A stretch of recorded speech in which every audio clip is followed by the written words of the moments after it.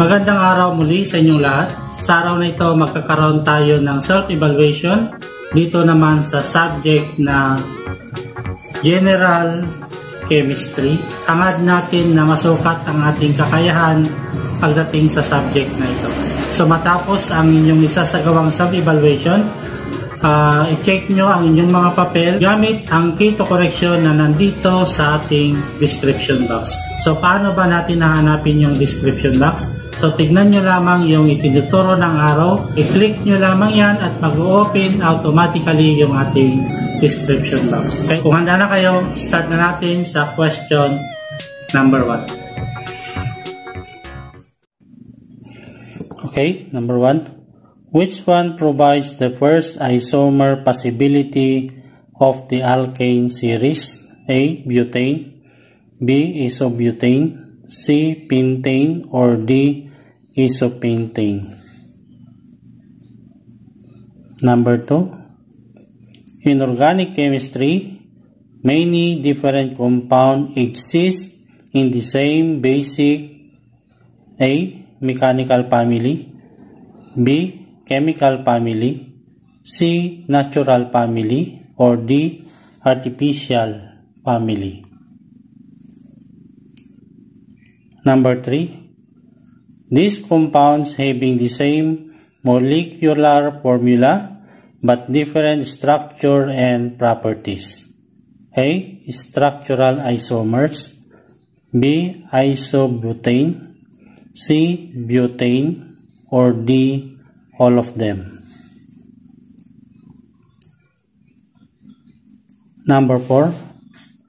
Alkanes are insoluble in water due to the inability to form A. Oxygen bonds B. Nitrogen bonds C. Hydrogen bonds or D. Iron bonds. Number 5. The liquid alkynes are soluble with each other. A. True. B. False. Number 6. What branch of organic chemistry in which the chemistry of fire and hazard incidents is best represented? A. Geometry B. Hydrocarbon C. Hydrometry or D, none of them. 7. The qualifier organic in organic chemistry comes from the word A. Organization B. Organize C. Organism or D. Polarity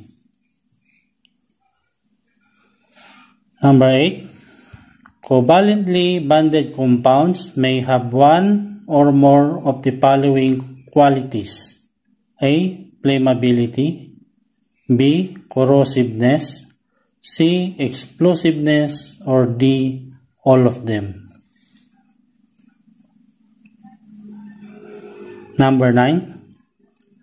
The ability of the outer orbital of carbon to utilize the electrons in half-full configuration leads to the uniqueness of organic chemistry. A. True. B. False. Number 10. The structure of molecules in organic chemistry is A. Precise B. Uneven C. Vague or D unique. 11.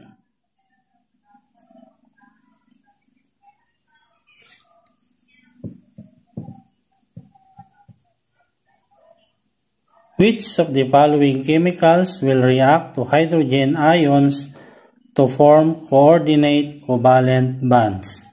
A. Ammonium B. Ammonia C. Fluorine or D. Bromine. Number 12. It is the orientation in space that gives the chemical configuration a positive and negative end. A. True. B. False. Next, number 13. In hydrocarbon nomenclature, the suffix indicates whether it contains A, letter A, single bond, B, double bond, C, triple bond, or D, all of them. 14. If we have a chain of carbon with single bonds between the carbons. We call these compounds as A. Alkanes B. Hydrogen atom C. Carbon or D. Hydrocarbon 15.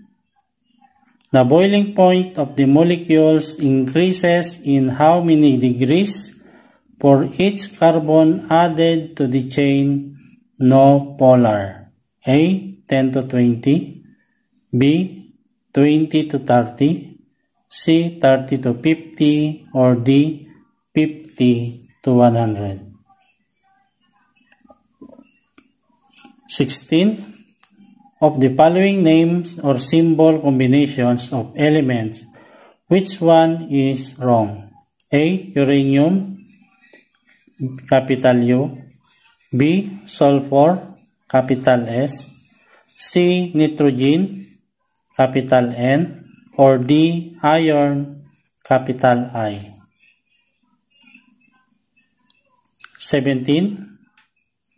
What is the chemical symbol of manganese? A. Capital M, N. B. Capital M, N, O. C capital M N A D capital G N A 18 An unused flash bulb contains magnesium and oxygen. After use, the contents are changed to magnesium oxide but the total mass does not change. This observation can be explained by A. Law of constant composition B. Law of multiple promotions C. Avogadro's law or D. Law of conservation of mass 19. Identify the incorrect statement A Helium in a balloon, it is an element. B. Paint, it is a mixture. C. Tap water, it is a compound. Or D. Mercury in barometer, it is an element. 20. Which of the following symbol combination of elements, which one is wrong?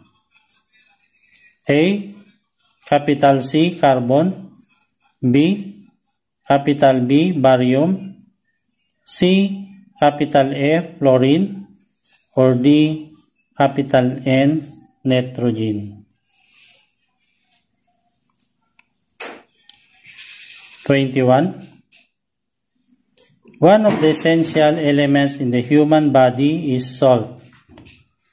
How much salt is in the average adult human body? A. 1 kilograms B. 500 grams C. 250 grams or D. None. 22. The symbol B stands for stibnum. What is the modern name of this element? A. Arsenic B. tin, C. Testimony or D. Samort, Samortum. 23. Water-based liquids can be described as acidic, neutral, or basic. Which of these describes milk? A. Slightly acidic B. Neutral C. Strong acidic or D. Basic.